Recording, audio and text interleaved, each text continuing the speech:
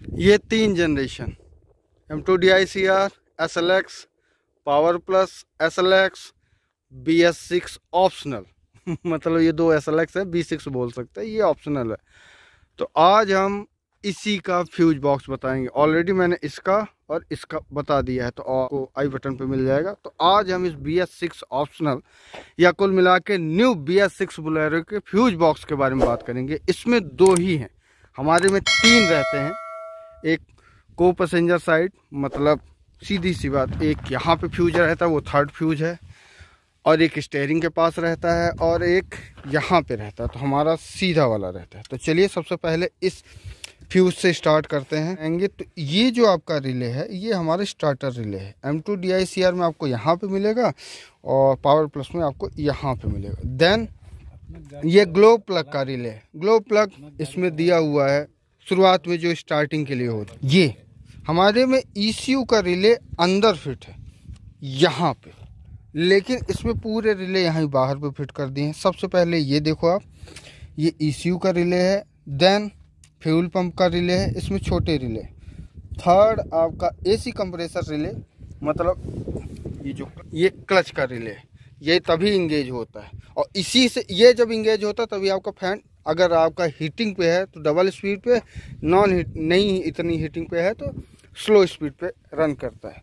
उसके बाद चौथा नंबर आपका S C R S C R का मतलब होता है सेलेक्टिव कैटलिटिक रिडक्शन ये किसमें आता है? ये आपकी यूरिया में आता है। डीजल एग्जॉस्ट फ्लू अगर आपके में डी ई एफ़ का साइन आ रहा है, आपका मोटर काम नहीं कर रहा है, इंजेक्टर काम नहीं कर रहा है या स्कैनर में दिखा रहा है तो चेक करने से पहले आपको ज़रूर चेक करना है। एच सी आर का रिले भी है और फ्यूज भी है। अभी मैंने आपको रिले दिखाया, आगे चल के आप फ्यूज भी देखोगे। ये वाला आपका लो बीम है, ये वाला हाई बीम है। उसके बाद ये आपका फॉग लैंप है, जिसमें फॉग लैंप है, उसमें काम करेगा। जिसमें नहीं है तो आप बाहर से लगा सकते हो, कोई दिक्कत उसके बाद ये सबसे पहले हॉर्न की रिले है और ये आपका प्लक प्लकर बोल सकते हैं। उसके बाद ये आपके फ्यूज हैं। ये ये देखिए और ये छोटे वाले फ्यूज ये स्पेशल फ्यूज होते हैं। इनकी कीमत काफ़ी ज़्यादा होती है। ये दस रुपये ये करीब सौ रुपये पचास रुपये इनके में भी क्वालिटी आती है। तो ये फ़ैन का रिले है। अगर आपके में फ़ैन नहीं चलता बी एस सिक्स में तो सबसे पहले ये देखें। इसको देखेंगे तो ये जो हमारे में बैटरी के टर्मिनल्स होते हैं, दो टाइप के मतलब एक ही बैटरी से दो कनेक्शन जाते हैं। उसके लिए अलग अलग फ्यूज़ दे दिया जाता है। तो ये बैटरी टू का है। और उसके बाद ये ग्लो प्लग का है फ्यूज, आपकी रिले भी होती है और फ्यूज भी होते हैं। देन स्टार्टर सोलनाइट जो भी स्टार्टर में ऊपर आपको वो दिख रहा है ना, वो, उसको एक्टिवेट करता है ये।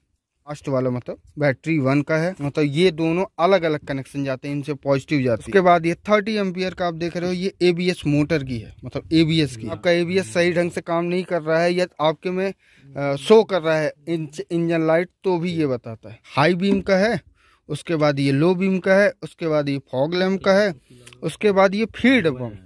फ़ीड पंप मतलब ये पीछे वाला जो पंप नहीं चलता वो उसका। उसके बाद जो एसी ब्लोवर का आपका रिले है ये आपकी स्पेयर फ्यूजेस है। मतलब अगर कोई भी फ्यूज निकल जाता है तो आप इसका यूज़ कर सकते ये आपका एसी ब्लोवर का रिले है। उसके बाद ये फ़ैन लो और ये फ़ैन हाई।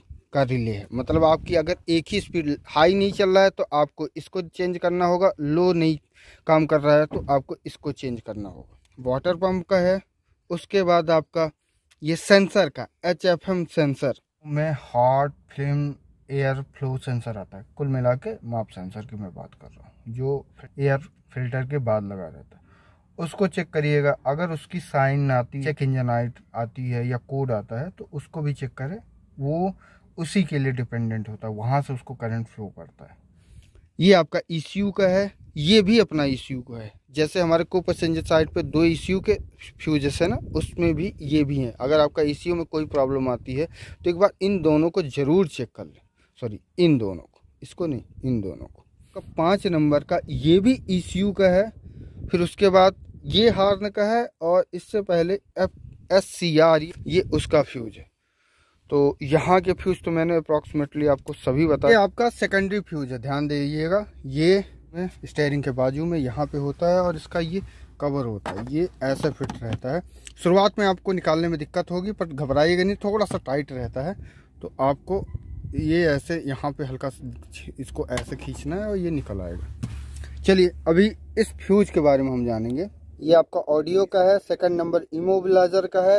उसके बाद वाला है आपका ऑडियो क्लस्टर का है। क्लस्टर मतलब यहाँ पे जो ऑडियो काम करता है, उसका है। उसके बाद आप नीचे देखोगे, ये वाला फिर पाँच एम्पियर का है आपका डिस्प्ले का है। मॉड्यूल डिस्प्ले मतलब जो आपका मॉडम है, वहाँ पे लगाओ। और ये, इनका डिस्प्ले है। उसके बाद ये आपको टू दिख रहा है, ये एक्चुअल में ट्वेंटी है ट्वेंटी है ट्वेंटी है। ऊपर नीचे ये जोड़ दिया जाता है। नीचे आपको ये जितने भी हैं इसको छोड़ के, ये जितने भी हैं, ये एक्चुअल में बी सी एम बोला जाता है, पर इसमें महिंद्रा बोलता है M B F M M B F M मतलब महिंद्रा बॉडी फ़ंक्शन मॉड्यूल, जो आपका सेंट्रल लॉक, ये आपका रूफ लाइट को कंट्रोल करता है। इसमें अच्छा फ़ंक्शन ये है कि मान लीजिए आपने गलती से भी लाइट जला के रखी है, गलती से भी, और आप जैसे ही लॉक करोगे तो ये बंद हो जाएगा। अन, अगर आप जला के रखे होगे तो आपको 10 या 5 मिनट का बैकअप देगा, फिर भी बंद हो जाएगा। तो ये चीज़ें अपने मॉड्यूल से जुड़ी रहे। पहले से बता दूँ, इसमें मॉड्यूल जुड़ा है, जिसे कहते हैं बी सी एम जनरली लोग लैंग्वेज में कहते हैं। महिंद्रा ने अपना अलग से नाम दे दिया है। बात करते हैं M B F M Mahindra body functional module अब, जैसा कि मैंने बताया कि उसके साथ बहुत सारी चीज़ें कंबाइंड है। तो अगर उसकी बात करें कि जैसे हम लोगों में ये जो देख रहे हैं आप M two D I C R है पावर प्लस आती थी, पंद्रह सौ सी सी वाली, जो आपका ही इंजन है, अगर बी एस सिक्स है आपके पास, उन कुछ लोग रिलेट कर पाएँगे। तो हमारे में क्या होता था, अगर हमको नॉर्मल एसी ऑन करना है तो हमारे में तीन रिले की ज़रूरत पड़ती थी, तीन रिले एक हीटर की रिले उस पर भी बाईपास दिया जाता था। तो वो एक रिले हो गई। उसके बाद थर्मो एम उसके बाद थर्मो एम्पलीफायर यूज़ किया जाता था हमारे में। थर्मो एम्पलीफायर यूज़ करने के बाद फिर वो थर्मो एम्पलीफायर जाता था एक अलग रिले में थर्मो एम्पलीफायर रिले में। वहाँ से वो कनेक्शन उठा के आपकी ईसीयू को देता था। ईसीयू जब पाता था उससे निगेटिव तो निगेटिव उठा के वो देता था दूसरी रिले को। किसको?